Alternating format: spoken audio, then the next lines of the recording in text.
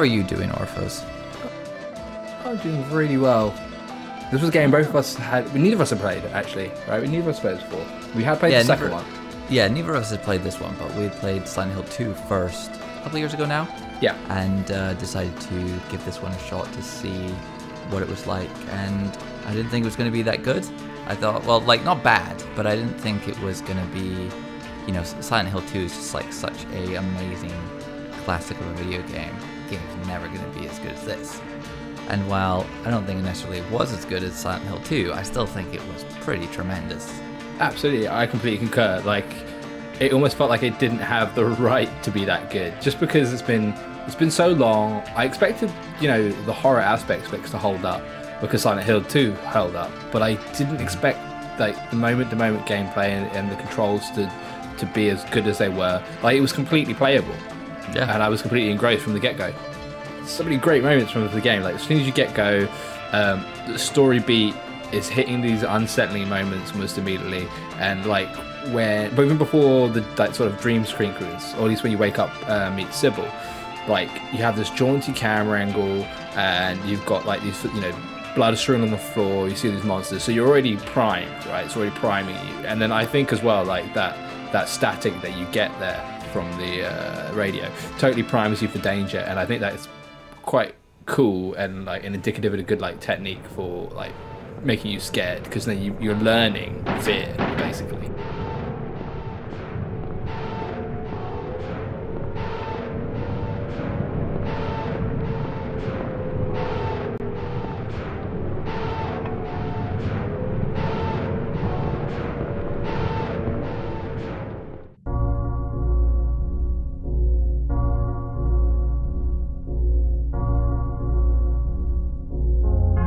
When we get to the school, uh, you know, the monsters are great, but we're pretty much in the Silent Hill bread and butter now. We're in this enclosed environment, very Yeah. claustrophobic. It, it's uh, challenging to evade the monsters. Lighting is spooky, music, music is spooky. Like this is Silent Hill firing on all cylinders. Uh, that's not to say that, that when you're outside exploring uh, the world, the overworld of Silent Hill, uh, isn't scary but there is a, it does feel like there's two different almost like tones like the outside feels a bit not relaxed but it feels like you can take a little bit of a breather you've got Yeah. more wide open spaces to avoid people Yeah. and like you generally have a good sense of where you're supposed to be going Yeah. whereas once you're inside you know it's like constantly checking your map uh, trying checking every room trying to find the puzzles and the pieces that will help you advance through this creepy ass school and then of course once you finally hear the air raid siren.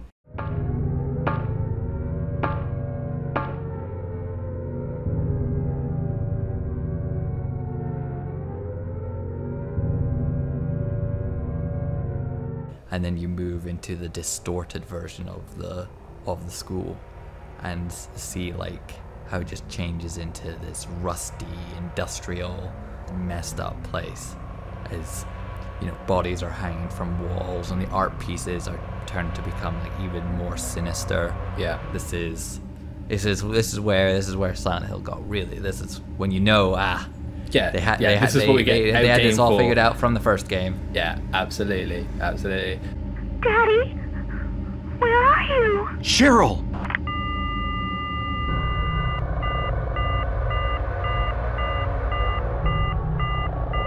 What you're saying about being outside being like that kind of space of breather. And i think that's true. I think silent hill does that quite well and gives you spaces to, to have a breathers um, between like the, the terror moments. But i always think it's really funny because when we were playing i kept saying this. I kept i would kept saying different things like oh but the outside isn't very scary. Like it's a good space to kind of relax and just kind of run through. And then every time i would make a comment like that we would enter that space and something scary would happen like I think there's moments on the stream where I, I mentioned that the outdoors is a fairly relaxed space. We step outside and it's flipped and it's become the upside down. Yeah. Or I say something like, "Oh, the game doesn't have like super creepy elements," and then all of a sudden some weird message comes on the TV screen and starts crackling at me. and I'm, I'm, I was hoping it would get a bit scarier. sure I mean, that's kind of scary. No, this is pretty scary. Every time I say something, the game just like delivers.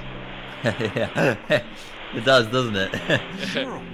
Uh, and so the game just kept beating me back every time I kept trying to say like it was. It kept failing on something. It was like, hang on a minute, I have one more thing for you, uh, and kept proving me wrong. Before we recorded this podcast, we actually ended up watching a movie, Jacob's Ladder. I, I want I want to bring it up now. I want to bring it up now, uh, largely because you can see the in like the, you can see the parallels between uh, Silent Hill and Jacob's Ladder. One of the things that was most apparent to me with Jacob's Ladder is how the, like the like the look of Jacob's Ladder and Silent Hill is just like so one to one. Like the way that lighting is done in Silent Hill and how it's done in Jacob's Ladder. Like in Jacob's Ladder, it's like all the lighting's coming from outside. It's very like God rays coming through the windows, and then at night it's all very dark and oppressive and foggy and you know gray skies. Even even when you're outside in the morning, it's just like gray skies. There's never really any sun in the movie, and it's the same in Silent Hill. It's actually kind of funny the, seeing such a how like how obvious the inspiration of Jacob's Ladder was on the game, but the game still manages, which I don't think a lot of games do when they look towards movies for inspirations, is that Silent Hill still feels like it, it is able to make a twist on it that makes it like it's able to make it its own to where you can watch uh, you can watch Jacob's Ladder and you can play Silent Hill and like they're just completely different uh, experiences. It- Yeah, it, it doesn't feel like a rip off. But as you say, like just how everything's set, the use of sound, um, especially the use of this like uh, ambiguous journey that you, the character's taking in, into these different worlds, as it were. Um, you don't know the path isn't linear. You don't know when things are happening. You don't know um, uh, who are good, who's good, bad, um, and you don't know like where necessarily they are. And I think the what a theme that's in both is that you know the reflection of the two worlds also has this kind of like precipice between life and death that it's always exploring. Uh, especially in like Silent Hill 1, where they've got the Alessa's character who's kind of sus- uh, suspended, as it were, between life and death as she's like becomes this vessel for this um, occult. And, then you have the balance between the two worlds. And as you say as well, like the the sort of violence that's in both um, Jacob's Ladder and Silent Hill, at least shown in like the disparity in the two the two worlds, all manifestations and the idea of trauma, which really cool. I think they executed really well. I think it's really really interesting. Members of the Silent Hills, you know, town are always odd. The things they say are offbeat. They don't necessarily make a like purely coherent, and it almost sounds like your character's saying one thing and they're saying another, which is much more evident in Silent Hill 2, but is a bit in Silent Hill 1. I think I, I I think you're right about everyone being off kilter, and even Cybil is a bit off kilter because it feels like she isn't perceiving the town the same way we are. Like she's very happy to just wander off by herself, and and then you meet up with her again, and it's like nothing has really happened. It always feels very uh, very bizarre. I think one of the things we talk we should talk about like one of the things this game does um, very well, very important for I think set, uh, setting up the feeling of the town and all that is the way the game works its camera uh, through the entirety of the game is fucking phenomenal. It's impeccable. Like It's yeah, amazing. I've got this written all of my notes, and it's the things that I'm. It's the thing that I'm practically wanting to like scream every time I think about Silent Hill. I, from the start of the podcast, I just want to I want to talk about the cameras. I want to talk about the cameras. Like just straight away when you first enter the town, right? There's that scene where you start seeing bodies, and then you go down this alleyway, and you get this jointy reversal of the camera that is so cinematic in its use. Like it, it, it's like a telltale sign of that transition piece where you move from like uh, the known to the unknown that you see in like you know something like The Shining, for instance. Uh, and it's so brilliant. I mean,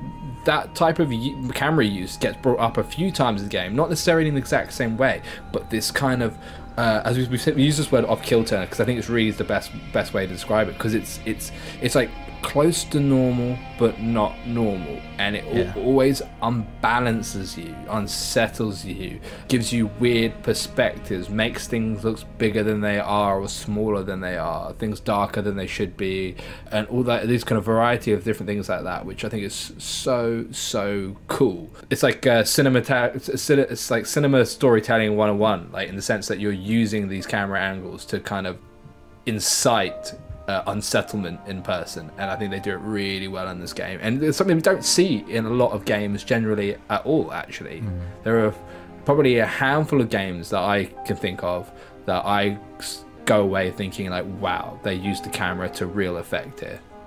Yeah, absolutely. I I think the thing that's very noteworthy, and I think this actually also helps it in creating this degree of unsettlement, is the fact that these camera shifts, especially the one at the beginning, right? The one, the one where you're walking under these pipes and you know, the camera's kind of moving up over the top, and it's like uh, it's it's just a nice, smooth, beautiful transition that just feels like very weird.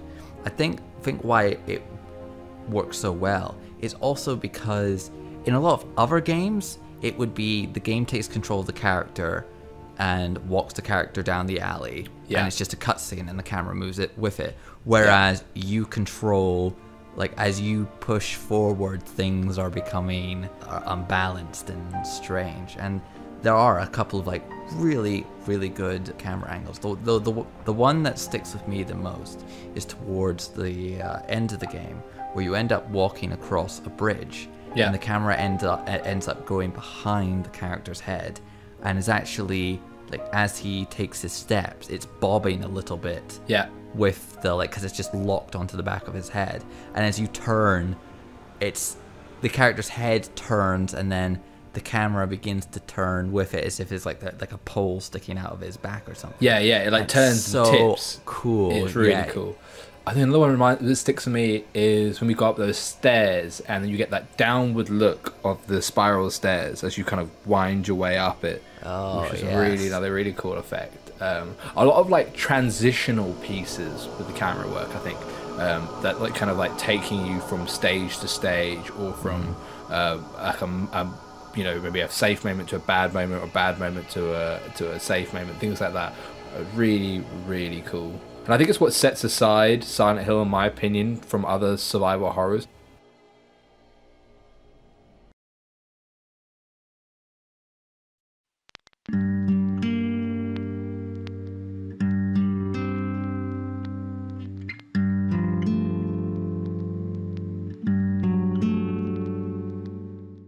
I mean, as you as you said with the with the camera earlier, it is used largely in transitional pieces. Uh, a lot of times, when it, it seems to be when you transition from the, the normal quote unquote world to the distorted world, do these camera angles begin to kick in? And so it also helps kind of reinforce a bit of dread when it starts to get fancy because you've been getting comfortable. You've been comfortable with how things are you know, just running around this, uh, running around the city or the location. It's been fine. Then all of a sudden, it starts to do something funky with the camera, and you're just like, oh no, this is cool, but this is gonna be bad. Yeah, yeah. One of the probably one of the biggest staples. I think one of the things that everyone knows. You know, one of the the fun facts of Silent Hill that everyone knows by this point is, of course, the fog. We, we could sit there and talk about like its representation and what you know what theme it invokes. However, that the reason there is fog is due to the graphical limitations of the PS1. It's like it's a solution to not being able to have a very long draw distance uh, on the PS1, which is such a it was just such a smart, ingenious solution to a problem like that that I just love it. That you're able to take the limitations, come up with a solution. And work that back into the game to where it makes sense. yeah, it's not, it it's, absolutely it's not makes sense. yeah.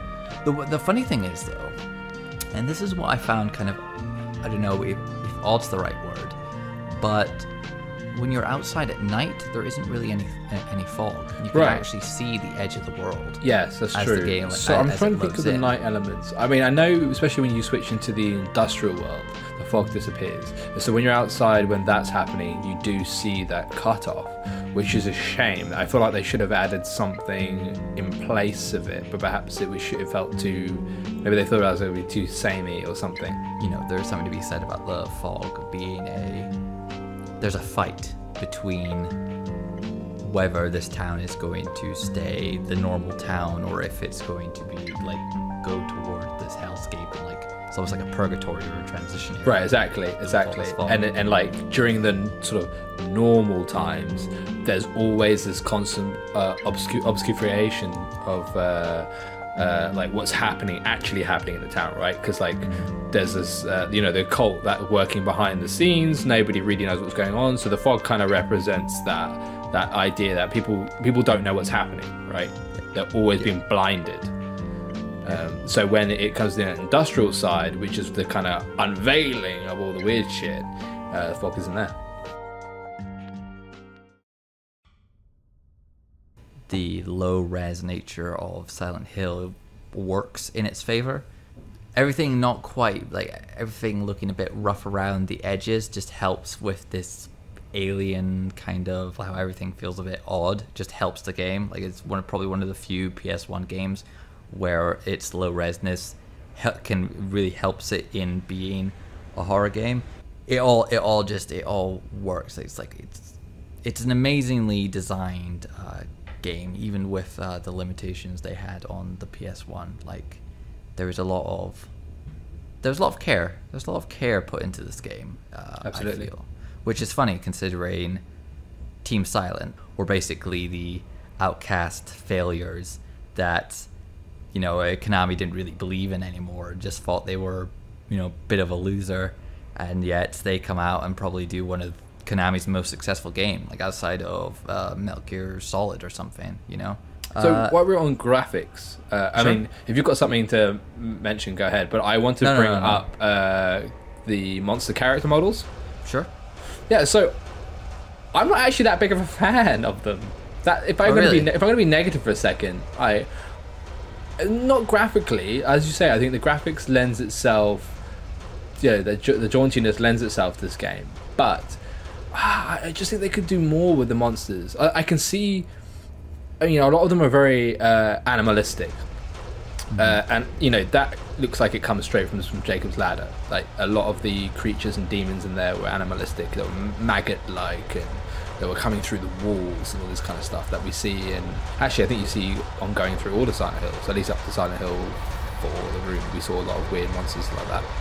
And I like the rep- that the representations of trauma. That's great, and I really think that's really interesting. They, they pulled out for this kid. Uh, but I don't find any particular aspects of them too. I don't know, too unsettling, too unfrightening. I mean, the nurses are scary, sure, but like the dogs, eh. As far as horror dogs are gone, not that into it. Those werewolf things, eh. Those flying things, eh. Sure. Um, you know, even the lizard things and the cockroaches, I'm just, I'm just not feeling them. They became a lot more like just harassers, which is the standard technique. You got to have your harasser monster, but there was so it felt like there was a lot of harassing monsters and not more of the, the the more I really just don't want to be over there because of them. Because in Silent Hill 2 I remember like not wanting to be in areas because I knew there was a, a type of a, a monster there. However, having said in that, I will balance it with the fact that I know they're supposed to represent the fears of a child. Um, while we know Alessa had a particularly abusive time, so the monsters there, like the nurses and stuff, are very scary. For Cheryl, the dogs and flying monsters are more typical of her ch- ch- childlike fears. So I'll take that. Fair enough. But I kind of was hoping for something a bit more. Would say violent, but maybe more grotesque. Some, just something, something more that would certainly put me off wanting to be anywhere near them. Because then the cockroaches just weren't enough for me. I do think you're right. I think the dogs and the flying monsters are not very interesting. They seem I- a I bit feel like- comical, right? Yeah, I feel like the most interesting monsters in the game are the ones that aren't really antagonists, like the ghost babies or the bodies they have hanging on the walls Yes. and stuff. Oh, like the tentacle arms. Yeah, Uh, like um, that stuff is, is more memorable to me, whereas the other stuff is just a bit just background. Yeah. A- And the bosses as well, I think were. I mean, the last boss, okay, a bit more interesting, but generally the bosses felt a bit uninspired. To be honest, there was the, well, the, The split mouth, split mouth, which was the first thing. Oh yeah, right? yeah, split mouth like dog thing. Yeah. that was pretty cool. I quite Th- like that, was cool. That- actually, that design was cool, but the fight was boring. It's also very like once you knew like how yeah I mean yeah it's it's you you shoot you shoot it shoot the thing in the mouth and that's it you've won. It's like Yep. so weird how how just nothing of because because I remember I mean to be fair the alternative which you know took us a while before someone in chat helped us. Yeah, because we were stupid. Because we played the first half of the game, previous stream, and forgot about uh, a book that we read that basically tells us how to kill the monster. Yeah, and so we were, or or, well, I was running around in circles again and again and again and again, and nothing was really happening. And like, I mean, that's not very. It's not very interesting. So I mean, yeah, you're right. Yeah, they didn't have a cool variety design, of but but the boss fights you know. fun. Yeah, like the the worm as well and the moth, which is kind of uninteresting. I like that they were you know representing metamorphosis uh, and you know these various things again like fear and trauma from the kid, but like just their you know their tactics and patterns and attacks just weren't that interesting. And I think for me the most annoying one was fighting Cybil. That was really really tedious and boring fight. I thought um, uh, went on for too long. Uh, Yes. the boss battle though, the final boss, that I'm okay with. You know what? Yeah, I'm, I'm okay. I'm okay with how that turned out, uh, and I'm actually find that boss more interesting, especially if we had got the other ending. That manifestation boss would look quite cool, I think.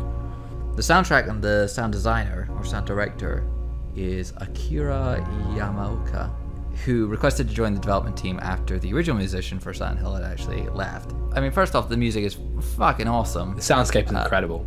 It's, it's able to evoke so much with such harsh sounds, you know, metal clanging or static or uh, or like almost like uh, like a, like clock tower sounds, you know, like gears grinding. Yeah, absolutely. like Everything that, is feels very mechanical.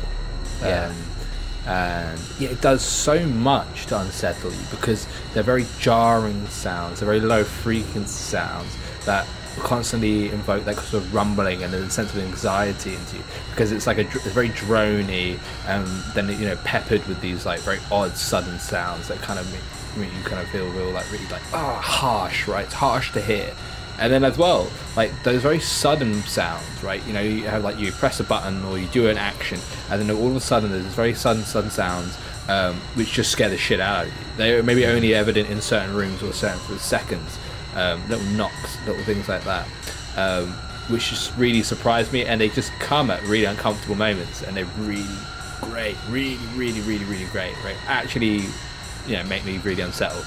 Uh, which is funny as well because there's several times that we both thought some of these sounds were happening inside our own house. That's right. Oh man, what was it like? The knock on the door? or Yeah, something? yeah, Or, yeah. Like So a knock on the wall like- sounded like it came coming from behind me or something. Yeah, I was like, where is something that? Scared the shit out of me.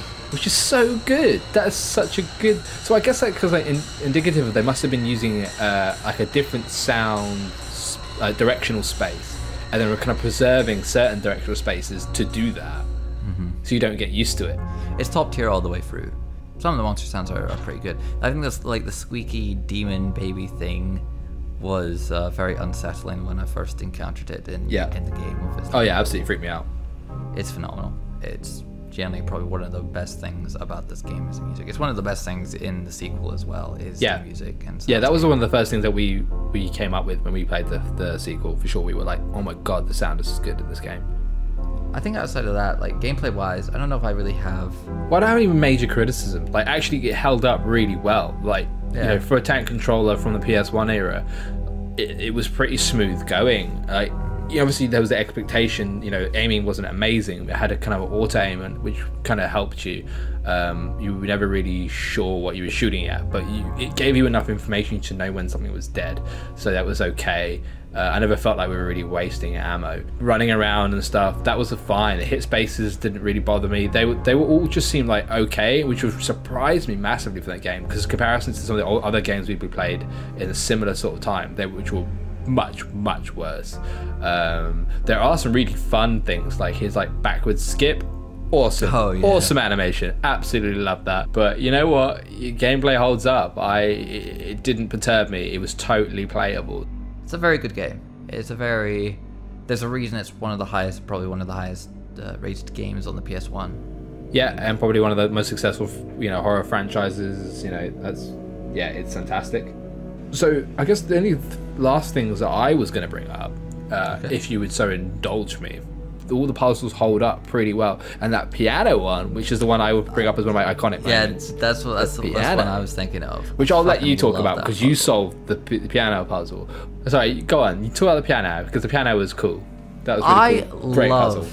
I love the piano puzzle. I think that's that was a great puzzle, and I was very dismayed when because in chat it was indicated to me that people really do not like the piano puzzle, and so then I started. I searched after the stream, and I came across like threads upon threads of people who absolutely hated that puzzle, and I could kind of understand why they didn't like the puzzle but at the same time because it's just it's it's a fun it's a it's a fun it, it's a fun puzzle that a lot of people say th- that you need to have a musical theory for to understand. Like you need to you need to know uh, stuff about a piano in order to solve the puzzle. But i don't really think it's it's just not true. It's, it's patently not true because it's not about uh, like the names of keys or anything. It's literally just about positions and colors and that's it that's all you need It's just to- yeah, it's just order and color. Once you've Yeah. aligned the the colors, which is the most obvious part of the puzzle, it's Yeah. just figuring out the order. Yeah, and maybe figuring out which keys you're supposed to be. Yeah, which is next to which, right? Yeah, well, I mean more because there's the there's the ones that've got like that kind of dead sound and the ones that Right, actually make a sound. right, right. So you have to it- know it which be ones very are- easy. are yeah, it could be play. very easy. Yeah, to, to do to play the ones Yeah. and not need not the other ones and Yeah. like but I've had solved the puzzle but just playing the wrong keys. You know. Yeah. I, I thought, you know, it took a bit of time, took a bit of like, you know, I cracked out some paper.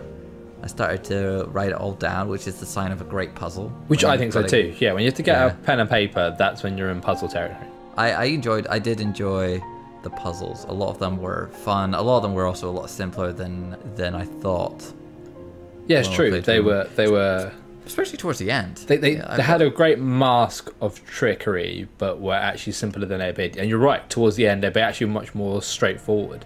Do you have any other moments? Because I probably have a couple. So my last one is uh, obviously the boss battle, the final boss battle, which is Oh, which sure. I am very proud of finishing, and I'm sure as when we get to talk about Heart of Darkness next time, you will be very happy about to talk about your final boss battle. Yeah. But this is a boss battle that took maybe on the that penultimate stream. How many hours were I stuck on that?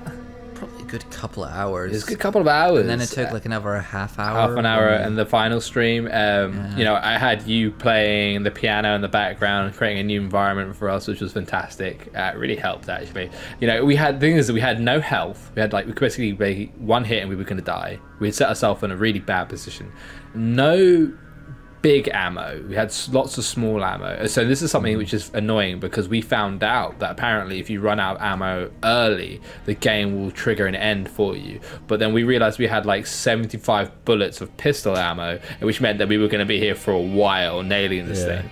Uh, and basically, it seemed like nigh impossible for ages because um, its attack was a one-hit kill, and it seemed entirely unavoidable. Uh, and it really took a long time to figure out a strat. And to be fair, people in chat were giving me good advice. Uh, good advice Shout that I didn't. I didn't put. Yeah, shout out to Base Boy. Sorted us out proper. I wasn't it putting. every minute. He said Told it. us he what we had to do, at me, and we just- screaming at me, just didn't run in believe him. circles, run in circles, and I was like, thought I was running in circles, but clearly I wasn't running in circles.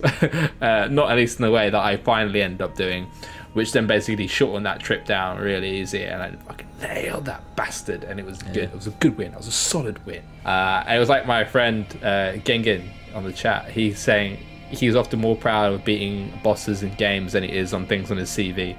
And uh, you know, in that moment, it really resonated with me. I was like, you know what, this might be my most proudest moment, at least over the last month, at least.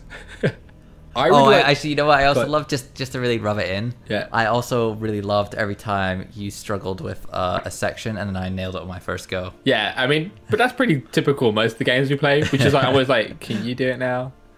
You're very much like the bigger brother to help me finish games when we stream. it was quite funny. It's a great game. It It's a fantastic game, and I encourage everyone who hasn't played it to give it a go. It's really, really rewarding experience. There's a reason it is considered a classic video game. Yep.